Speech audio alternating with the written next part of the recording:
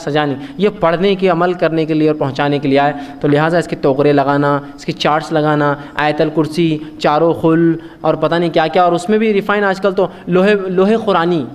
علی فلامی محامیم یاسین، تاسین تاہا عین، نون اور قاف، پتہ نہیں پورے حلف مقطع جمع کرتے اور لوہے قرآنی اور لگائے تھے دکان و مکان کی خیر و برکت کے لیے۔ اسی طرح کعبے کا دروازہ۔ ہے نا؟ ہمارے مسلمان ایکٹر آ کے بولتے کعبے کا دروازہ، گھومتے ہوئے چل رہا کیمرہ چلتے رہتا ہے۔ اتنی فضیلتیں بتاتے لائٹا وائٹا اس میں گھومتے رہتے ہیں۔ مسلمان فٹافٹ آرڈر کر کے منگا رہے گھر میں قبل رخ لگاتے اور اس کے سامنے کھڑے کے نمازیں پڑھتے ہیں۔ یہ شرک ہے۔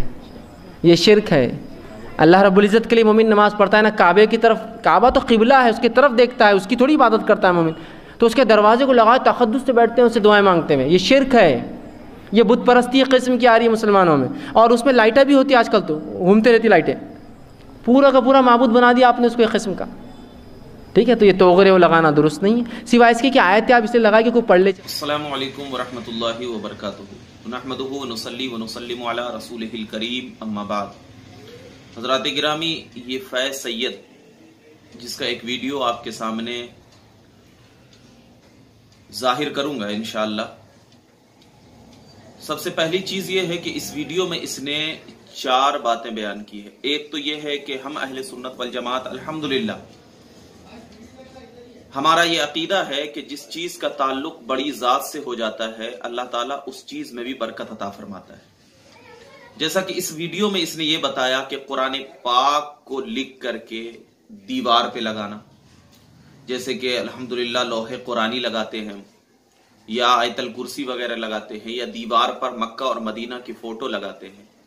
تو یہ سب لگانا ان کے نزدیک شرک ہے۔ اور یہ اپنی لاجک پیش کر رہا ہے کہ کوئی قرآن مجید کو جو چھاپتا ہے، اس سے جا کر کے پوچھو کہ تمہارے گھر میں برکت ہے یا نہیں ہے۔ تو یہ کہہ رہا ہے کہ قرآن برکت نہیں دیتی۔ دوسری چیز یہ لاجک پوچھ رہا ہے کہ لوہے قرآنی جو بیچتا ہے، ان سے جا کر کے پوچھو کہ ان کے گھر میں برکت ہے یا نہیں۔ میں ان سے یہی پوچھنا چاہتا ہوں کہ آپ اپنی لاجک کے بجائے اگر قرآن پاک کی آیت یا احادیث مبارکہ سے اس بات کو ثابت کرتے تو لوگ آپ کی بات کو زیادہ تسلیم کرتے۔ یہ وہی لوگ تسلیم کریں گے جن کو کہ علم نہیں ہے۔ قرآن پاک میں سب سے پہلے میں آپ کو بتا دوں کہ تبرکات کا جو معاملہ ہے نا، یہ اس سے اللہ تبارک و تعالی ان کے صدقے طفیل میں برکت بھی عطا فرماتا ہے اور دعائیں بھی قبول کرتا ہے۔ آپ اٹھا کر دیکھیں سورہ بقرہ۔ اور یہ واقعہ بالکل مشہور ہے کہ جب بنی اسرائیل کو کوئی مصیبت آتی تھی تو بنی اسرائیل کے پاس ایک صندوق تھا، جس کو تفسیر قرطبی ہے، تفسیر روح البیان ہے، تفسیر روح المعانی ہے، تفسیر ابن کثیر ہے، یہ تمام تفاسیر میں ذکر کیا گیا ہے کہ ایک صندوق تھا، جب بھی کوئی مصیبت اور پریشانی آتی تھی تو اس صندوق کو اپنے سامنے لاتے اور اس صندوق کا وسیلہ اللہ رب العزت کی بارگاہ میں پیش کرتے تھے۔ تو اللہ تعالیٰ اس صندوق میں جو چیز انبیاء کراتو، انبیاء علیہ سلاۃ وسلام کی برکت والی چیز تھی نا، تو اللہ تعالیٰ ان کے صدقے طفیل میں ان کی دعاؤں کو قبول فرما لیتا تھا۔ اور احادیث میں اور مفسرین نے اس بات کو واضح کیا ہے کہ اس میں جو تھے، وہ حضرت موسا علیہ السلاۃ وسلام کا آسا تھا، حضرت ابراہیم علیہ السلاۃ وسلام کے صحیفے تھے حضرت عیسیٰ علیہ السلاۃ والسلام کے نالین تھے اور بہت ساری چیزیں تھے اور امام قرطبی نے تو یہ لکھا ہے کہ اس میں اللہ کے نبی صلی اللہ علیہ وسلم محمد عربی روحی فدا صلی اللہ علیہ وسلم کی تصاویر بھی تھی۔ تو پتا کیا چلا کہ اللہ تعالی ان میں کیا ہے؟ انبیاء علیہ السلاۃ وسلام کی تعلق کی وجہ سے، انبیاء سے نسبت کی وجہ سے اللہ اس میں برکت عطا فرما دیتا ہے۔ ایک۔ دوسری چیز آپ کا یہ کہنا کہ قرآن برکت نہیں دے سکتا، تو یہ کہنا سب سے پہلی چیز یہ کہ آپ ایسی باتوں سے توبہ کریں۔ کیونکہ یہ قرآن جو ہے نا، قرآن، لفظ قرآن، یہ اللہ کا کلام ہے۔ اور تمام علماء کا اتفاق ہے کہ اللہ کا جو لفظ کلام ہے، یہ اللہ کی صفات میں سے ہے۔ اور اللہ کی صفات، یہ کلام الہی ہے۔ یعنی کلام جو ہے، یہ اللہ کی صفات ہے۔ تو آپ کیسے کہہ سکتے ہیں کہ اللہ کا کلام برکت نہیں دے سکتا؟ لا حول ولا قوت۔ یہ آپ کی نیتوں پر دار و مدار ہے۔ یہاں تک کہ احادیث میں تو یہ بات آئی ہے کہ امام قسطلانی نے ایک حدیث ذکر کی ہے کہ نبی کریم صلی اللہ علیہ وسلم جب اپنا بال مبارک ترشوائے تو آدھا بال حضرت ابو طلحہ کو اور آدھا بال مبارک جو ہے، آدھا منہ مبارک تمام صحابہ میں بانٹ دیا اور صحابہ کرام اس سے برکت حاصل کیا کرتے تھے۔ یہ نبی کریم صلی اللہ علیہ وسلم کا بال مبارک تھا۔ جیسا کہ امام قسطلانی نے جلد آٹھ صفحہ نمبر تین سو براسی پہ اس کو ذکر فرمایا۔ اور صحیح بخاری میں حضرت اسما رضی اللہ تعالی عنہ کے پاس حضور صلی اللہ علیہ وسلم کا کرتے مبارک تھا۔ جب بھی کسی کو کوئی پریشانی ہوتی تو اس کرتے مبارک سے وہ برکت حاصل کیا کرتی تھی اور فرمایا کرتی تھی کہ اللہ تبارک و تعالی کیا ہے، اس میں وہ برکت عطا فرمائی ہے کہ اس سے شفا بھی عطا فرماتا ہے۔ اب یہ چیز ذہن میں رکھے کہ بہت سارے ثبوت ہیں احادیث مبارکہ میں کہ جو بھی برکت والی چیز ہے اللہ تعالیٰ اس میں شفا عطا فرماتا ہے۔ جیسے کہ آپ کو بتا دوں، آپ جو کہہ رہے ہیں کہ قرآن اگر لٹکائیں تو برکت نہیں ملتی ہے۔ تو پھر میں آپ کو کتاب الطب کی روایت ہے مسلم شریف کی کہ حضرت عبداللہ ابن عمر رضی اللہ تعالی عنہ فرماتے ہیں کہ جب میرے بچے روتے تھے، جب میرے بچے روتے تھے تو میں قرآن مجید کی لکھ کو لکھ کر کے قرآن مجید کو کچھ آیات لکھ کر کے ان کے گلے میں ڈال دیتا تھا، جس کی وجہ سے وہ بچے رونا بند کر دیتے۔ تو کس وجہ سے ڈالتے؟ کیا ان کو یہ یقین نہیں تھا کہ اللہ تعالیٰ شفا دینے والا؟ یقین تھا۔ تو مگر اللہ تعالیٰ نے جس کو شفا کا ذریعہ بنایا ہے، اللہ تعالیٰ اس کے اندر بھی شفا کی طاقت رکھتا ہے۔ دوسری چیز، پتھر تو کوئی برکت نہیں دیتا، لیکن آپ آپ بھی کہیں گے، بھائی، آپ بھی کہیں گے کہ حجر اسود جاؤ، اس کو چوم لو. تو اللہ تعالیٰ اس سے کیا ہے آپ کو شفا دے گا اور اللہ تعالیٰ بخشش فرمائے گا؟ یہ چیز ہے۔ تو مطلب یہ ہے کہ یہ پتھر کی کوئی حیثیت ہے۔ نبی کریم صلی اللہ علیہ وسلم کی ذات مبارکہ نے اس کو چھوا تو اللہ تعالیٰ نے اس کو برکت عطا فرما ایسے ہی پانی عام ہے۔ انبیاء علیہ السلام تو حضرت اسماعیل کا قدم لگا۔ اللہ تعالیٰ نے تمام پانیوں سے اس کو افضل قرار دے دیا۔ ایسے ہی جنگ بدر میں حضرت نبی کریم صلی اللہ علیہ وسلم نے اپنا لعاب دہن ایک کنویں میں ڈالا تو اللہ تعالیٰ نے اس کو آب شفا بنا دیا۔ ایسے ہی بہت ساری ایسی چیزیں ہیں کہ نبی کریم صلی اللہ علیہ وسلم سے نسبت کی بنیاد پر اللہ تعالیٰ اس میں برکت عطا فرماتا ہے۔ یہ کابت اللہ جو ہے، یہ کیا ہے؟ کیا ہے؟ یہ کابت اللہ اللہ رب العزت کا گھر ہے۔ یعنی اللہ تبا بیت اللہ کہا جاتا ہے۔ یعنی اس گھر کو اللہ سے نسبت ہے، اسی نسبت کی بنیاد پر انسان جو ہے وہ چکر لگاتا ہے۔ اگر کسی اور کا چکر لگائے، طواف کرے، تو عبادت کی نیت سے طواف کرے تو شرک ہے۔ اور اگر جہالت میں تعظیمی طواف کرے تو حرام ہے۔ اور آپ نے صرف ہر چیز کو شرک کر دیا۔ آپ پہلے اس کا رویہ دیکھیں کہ کس بنیاد پر کر رہا ہے۔ تعظیم کی نیت سے اگر کوئی کرے گا تو کبھی شرک نہیں ہوگا۔ عبادت میں شرک ہوتا ہے۔ عبادت عبادت شرک ہوتی ہے۔ تو اگر کوئی انسان توغرا جو لگاتا ہے، مکہ کا ہو یا مدینے کا ہو، توغرا جو لگاتا ہے، کوئی انسان عبادت کی نیت سے نہیں لگاتا ہے، بلکہ اس نیت سے لگاتا ہے کہ اللہ کے رسول سے اس کو نسبت ہے۔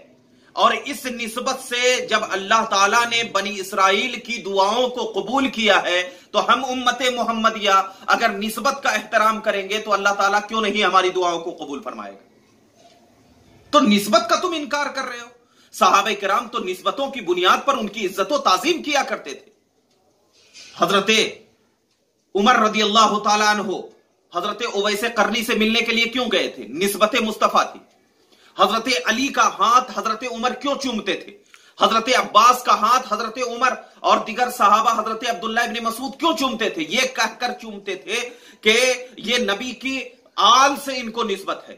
دوسری بات، آپ کتاب کتاب الاستسقاء، بخاری شریف کی روایت پڑھے ہوں گے کہ حضرت عمر رضی اللہ تعالی عنہ نے استسقاء کی نماز کے بعد کہا کہ اے اللہ کی یا اللہ، ہم زمانے محمدی میں یعنی حضور صلی اللہ علیہ وسلم جب وہ حیات تھے تو ہم حضور کا وسیلہ لیتے تھے، اب ہم آپ کے چچا کا وسیلہ لیتے ہیں کیونکہ یہ کیا ہے، حضور سے نسبت رکھتے ہیں، تعلق رکھتے ہیں۔ تو اگر کوئی شخص توغرا لگا رہا ہے، محبت کی بنیاد پر، نسبت کی بنیاد پر، اس میں شرک کی کون سی بات ہے؟ آپ ذرا بتائیں۔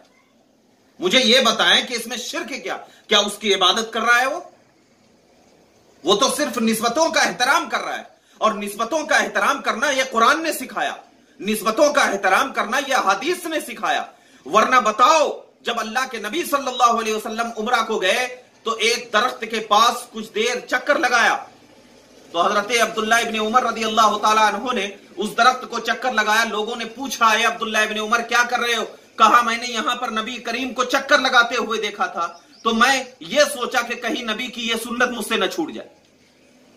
یہ سنت آج ان لوگوں کو جلن ہوتی ہے، نالین مبارکہ اگر ہم پاس رکھتے ہیں تو یہ کہتے ہیں کہ یہ شرک ہے۔ ارے، کس چیز میں تم نے شرک کیا ہے؟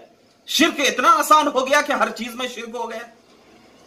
لوہے قرآنی، جس کو کہ حروف مقطعات، آیت متشابہات کہا جاتا ہے۔ اس کو لوح قرآنی کہا جاتا ہے یعنی قرآن کی لوح، قرآن کی تختی، یہ کہا جاتا ہے۔ تو کیا یہ قرآن میں اللہ تعالیٰ نے اتنا شفا نہیں دیا کہ اللہ تبارک و تعالیٰ اس کے ذریعے لوگوں کو شفا دے دے؟ یہاں تک کہ جب قرآن پڑھ کر پھوکنے سے ایک چیز بتا دیتا ہوں، قرآن پڑھ کر پھوکنے سے جب اللہ تعالیٰ شفا دے سکتا ہے، تو قرآن کی آیات کو گھر میں لگانے سے اللہ تعالیٰ کیوں نہیں شفا دے سکتا؟ تو یہ تو دشمنی کی دلیل ہوئی کہ لوگوں کو تم عام طور پر بہکا رہے ہو اور کہہ رہے ہو کہ یہ فلاں چیز ہے، ایسی ہے، اس کو لگانا شرک ہے، اس کو لگانا بدت ہے۔ ارے، شرک اور بدت تم نے پہلے یہ سمجھا ہے کہ شرک کہتے کس کو ہے بدت کہتے کس کو ہے۔ اور صرف لگا دیا لوگوں پر گفتگو کرنے کے لیے شرک اور بدت کوئی انسان اگر قرآن کو عبادت کی نیت کر رہا ہے تو شرک ہے۔ کوئی انسان اگر دیوار پر مکہ اور مدینے کی تصویر لگا کر یہ کہہ رہا ہے کہ ہم اس کی عبادت کر رہے ہیں تو شرک ہے، لیکن اگر تعظیم کر رہا ہے اور تعظیم میں محبت شرط ہے تو یہ کبھی شرک نہیں ہوگا، بلکہ اس سے اللہ تبارک و تعالی اس سے برکت دے گا۔ حضرت ام سلمہ کے پاس نبی کریم صلی اللہ علیہ وسلم کا پسینے مبارکہ تھا۔ جب بھی کسی کی شادی ہوتی تھی وہ پسینے مبارکہ اس دلہا اور دلہن کو اس نیت سے لگاتی تھی کہ اللہ تبارک و تعالیٰ اس دونوں میں کبھی بھی جدائی نہ پیدا کرے۔ اور صحابہ کا بیان ہے کہ اس پسینے سے اتنی خوشبو آتی تھی کہ کبھی ہم ایسی خوشبو نہیں سونگے تھے۔ حضرت عائشہ صدیقہ رضی اللہ تعالیٰ عنہ کے پاس بال مبارک تھا نبی کریم صلی اللہ علیہ وسلم کا۔ جب کوئی بیمار پڑتا، حضرت عائشہ اس بال مبارک کا پانی اس کو دے دیتی، اللہ تعالیٰ اس کے ذریعے شفا دے دیتا۔ تو نسبتوں کا احترام ہوتا ہے۔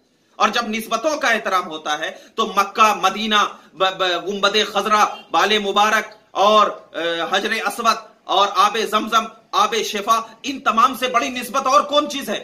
قرآن سے بڑی نسبت اور کون چیز ہے؟ تو قرآن کو اگر ہم سینے سے بھی لگا کر رکھیں گے نا، تو اللہ نے تو یہی فرمایا ہے کہ لا تمسہو الا المتحرون لا یمسہو الا المتحرون اس کو نہ چھوئے مگر پاک لو۔ کیوں؟ قرآن تو عزت والی ہے نا۔ تبھی تو پاک لوگ چھونے کے لیے کہا جا رہا ہے۔